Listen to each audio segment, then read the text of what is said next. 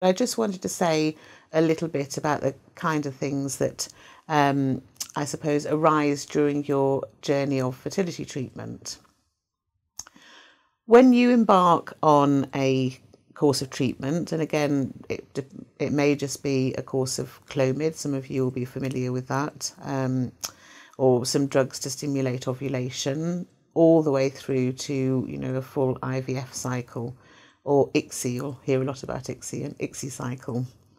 Um, sadly, only one outcome from embarking on treatment is a live baby.